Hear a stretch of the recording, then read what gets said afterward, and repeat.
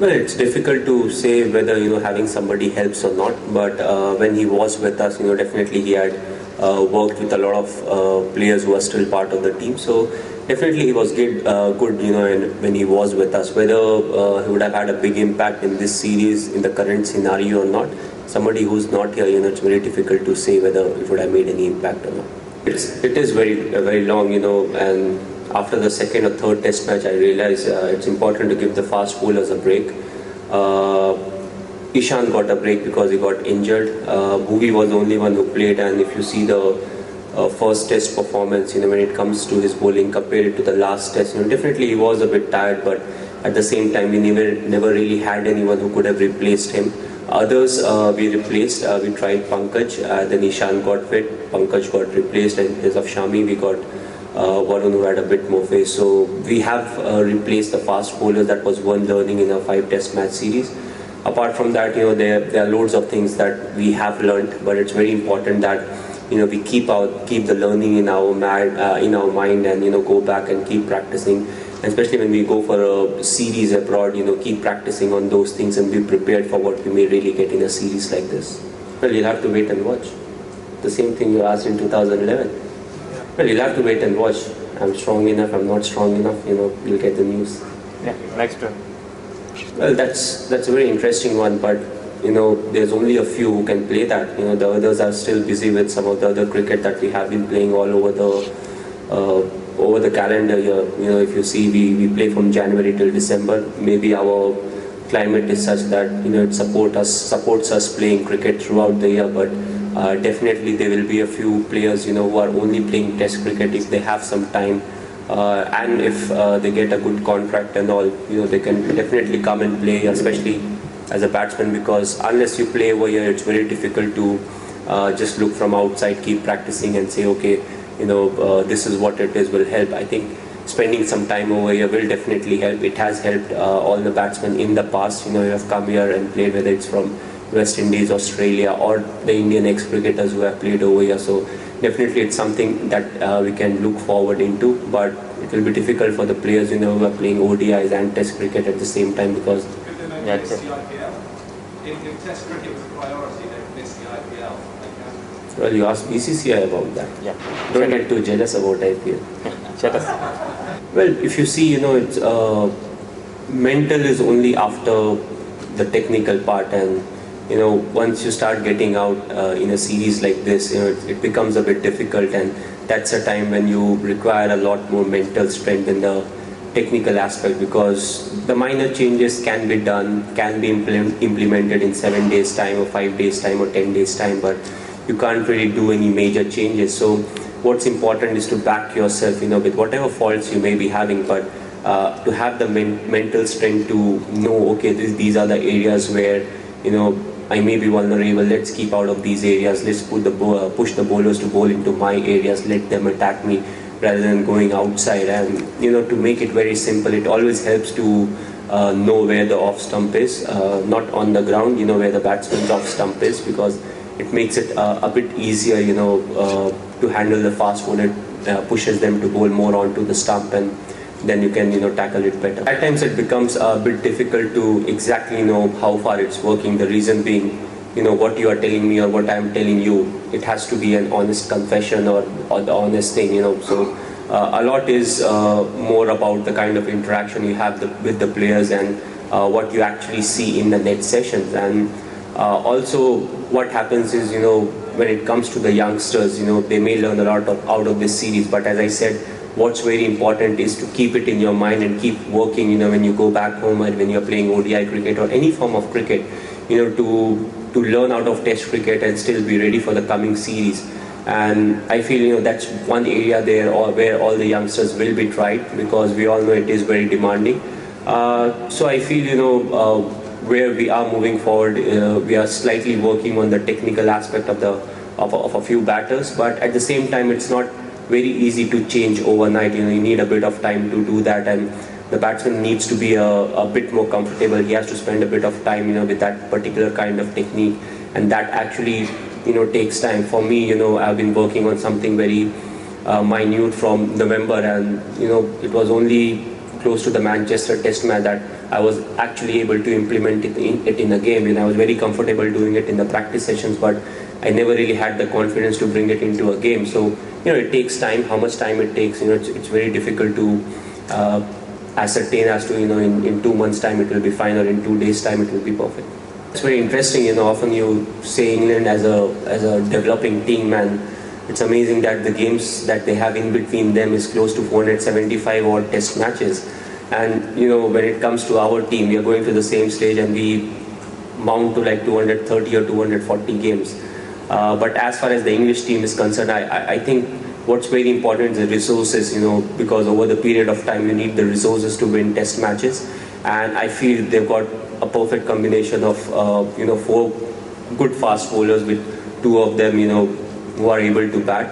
And at the same time, Moeen Ali, I, I feel over the period of time, you'll see him get more wickets uh, if needed or if the uh, conditions favor him. If not, you know, he'll, he'll be that bowler who can give the fast bowlers ample time to rest so that they can come back if the second ball is needed and, you know, go strong against the opposition. And five bowlers is something that is very critical and you can only have it if you have that one perfect all-rounder or couple of them who can bat a bit and are, you know, good genuine fast bowlers apart from that, the experience in the top order is there. Alastair Cook is there. You have uh, Robson, you know, will play a few more games in the coming season. Gary Ballance has been done, uh, has been doing really well. And in the middle order, if you see Bell and uh, Joe Root, you know, are the kind of player that's really needed. Once the ball gets slightly old, they are the ones who will keep rotating the strike and if needed, play the big shot also. So overall, when it comes to the resources, the fitness and everything, you know, they're looking at a very good side. Well, the team has changed completely. You know, uh, the strategies and whatever that I had learned in that uh, particular series, you know, I had implemented in this uh, this series. But also, what you need to see is the set of bowlers. You know, as a captain, when you are giving them fields and uh, when you're trying to manipulate with the field positions, you have to see the strengths of the fast bowlers. And also the fact, you know, uh, our bowlers are very different. If you compare them to the English team right now, you know, the English bowlers, they keep hitting the same areas, they keep hitting the same areas. At times, you know, they may be slightly boring, but, you know, once they get that chance, you know, they start attacking you and you have not put enough runs on the board because they are so accurate, which means you may have spent like 30 to 40 minutes, but if you look at the scoreboard, here, they have hardly given any runs. And that's why, you know, they, they take the game forward like that. You know, it's, it's basically uh, Broad and Anderson who does the uh, attack work initially, and if they don't get early wickets, you know, the second two fast bowlers, they're quite happy to bowl that channel bowling and invite them to play the shot. If a wicket falls again, they attack. Otherwise, they're quite happy bowling that line. So that's a period where, as a batsman, you have to say, okay, if they're not really bowling in my area, I won't give them uh, the wicket, you know, that they really want. And that's where we have faltered to some extent.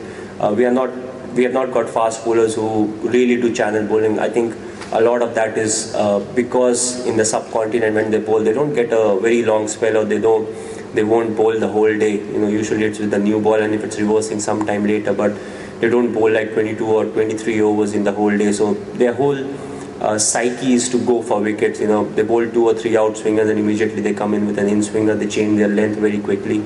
Uh, which I feel you know needs to be slightly altered when you come to condition like these where you have a bit of help but it's very important to be consistent with the line. Definitely because the more they play uh, the better they will get. They'll understand the uh, the condition really, really well. They respect the fact that you know they can plan the batsmen out. You know if if they if they keep bowling maidens, you know they can bowl in partnership. The, the particular bowler won't get a wicket, but because of him bowling in a good partnership spell with some of the other bowlers, you know, somebody else may get a wicket.